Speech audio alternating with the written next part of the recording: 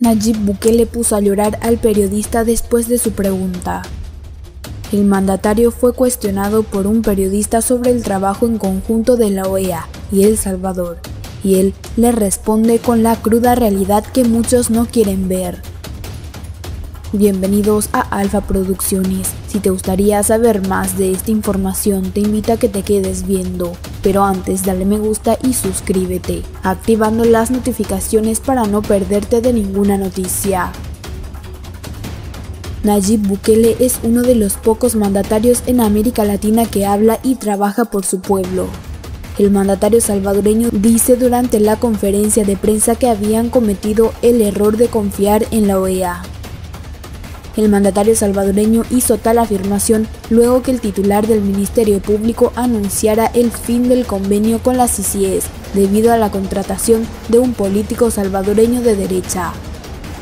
El presidente salvadoreño Nayib Bukele dijo que haber confiado en la Organización de los Estados Americanos para el acompañamiento de la Comisión Internacional contra la Impunidad, CICIES, había sido un error. Las palabras del mandatario se han dado luego que el jefe del Ministerio Público, nombrado por su administración, Rodolfo Delgado, hizo público el fin del convenio que el país firmó con la OEA para que apoyara en la lucha contra la corrupción. La ruptura del acuerdo firmado en 2019, según el servidor público, se ha debido a que el secretario general de la OEA, Luis Almagro, anunció el pasado 3 de junio la contratación del ex alcalde de San Salvador y miembro del opositor Partido Arena, Ernesto Michuat, como asesor de la OEA. A través de la cuenta de Twitter de Casa Presidencial, el presidente salvadoreño cuestionó en un hilo a la OEA cómo es posible que alguien que se supone que está luchando contra la impunidad venga a darle impunidad a alguien que ha cometido todos estos delitos y que todos los salvadoreños los conocen. No podemos seguir dejando que los encargados de velar por la lucha contra la impunidad en El Salvador sean los que le dan la impunidad a los criminales, apuntó Bukele. El mandatario además objetó que ya no podía confiar en la institución porque ésta posee un sesgo político y que el nombramiento del ex alcalde como asesor es parte de un plan. Ahora veamos la conferencia de prensa la Fiscalía General a cargo de un fiscal que puso su partido le permite eh, conocer o hacer. Y eh, explíquenos entonces usted cómo pudo haber confiado en la OEGA si casi personalmente se ocupó de, de adoptar ese modelo para las ICIDES que iba a aplicar aquí en El Salvador.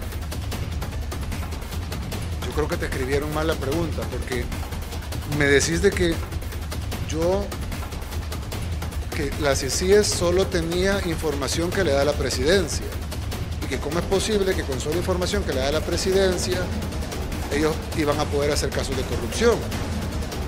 Pero no decir que hay no sé cuántos casos de corrupción contra el Ejecutivo. ¿Y cómo van a haber casos de corrupción contra el Ejecutivo si tú decís al mismo tiempo de que nosotros le entregamos solo la información que le queremos entregar? Entonces, una de dos, o no entregamos información y por lo tanto no tienen casos, o si entregamos información y somos transparentes y por lo tanto tienen casos.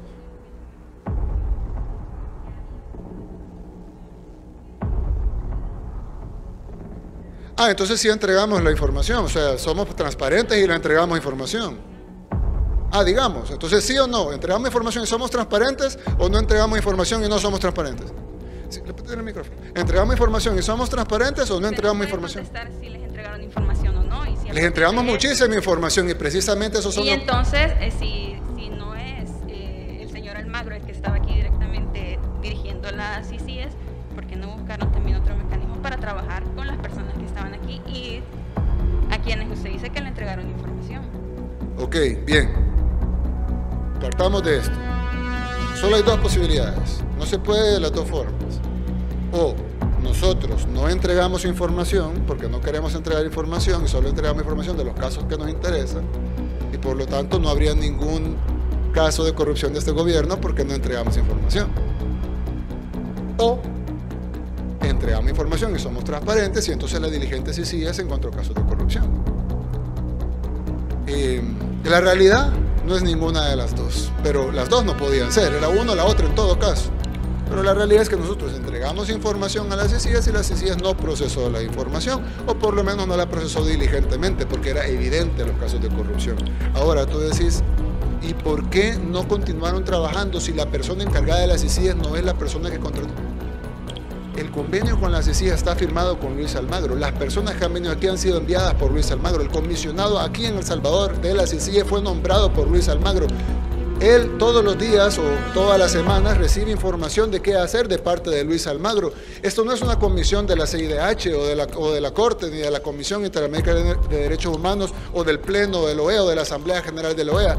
Esto es una comisión de la Secretaría General de la OEA, y el secretario general de la OEA se llama Luis Almagro. Y la Secretaría General de la OEA, y no lo digo yo, lo dice Luis Almagro en su tuit, contrató a un delincuente. Y la ICCIES no es la Comisión contra la Corrupción, la ICCIES es la Comisión internacional contra la impunidad en El Salvador, es decir, lucha contra la impunidad. Pero lo que ellos están haciendo es dando impunidad. Entonces, ¿cómo es esa recomendación de que trabajemos para resolver la impunidad con quienes promueven la impunidad en el país? Es totalmente absurdo. Y sería un despropósito, claro, como, te, como expliqué a tu colega anteriormente, pues obviamente nosotros podíamos seguir trabajando y hacernos los de los panes. Es más, pudimos haber hasta negociado, mira, no vamos a decir nada de esto y ustedes no digan nada de aquello, pero nosotros no trabajamos así. Yo sé que tu periódico, la prensa gráfica, siempre ha sido la cobertura de arena en el pasado y en el presente, ya lo sabemos, todo el mundo lo sabe, pero es importante que hayan principios, por lo menos, por lo menos tú, pues si tu jefe no los tiene, pero tú deberías de tener. Porque yo creo que es importante que alguien, un, salvadoreño o salvadoreña que tenga principios, que vea semejante bofetada a la cara de los salvadoreños, porque todos los amigos que nos están viendo sienten esta bofetada. La sintieron ayer cuando el secretario general de la OEA dijo, va para la OEA de asesor Ernesto Mason, que negoció tu vida, la de tu familia, con pandilleros, a cambio de ganar unas elecciones. Entonces, y que nos digas que trabajemos con ellos, para combatir la impunidad.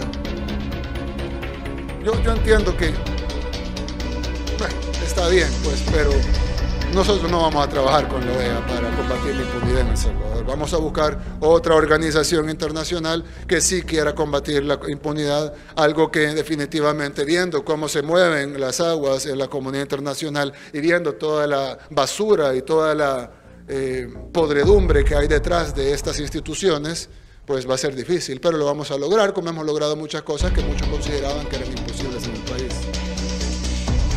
Concluye la conferencia de prensa. Vamos a presenciar en este momento el retiro del señor. Muchas gracias, lo dejo porque tengo dos reuniones. En el Salón de Honor de Casa Presidencial, presenciamos el retiro del señor presidente de la República de El Salvador, Nayib Armando Bukele Ortiz.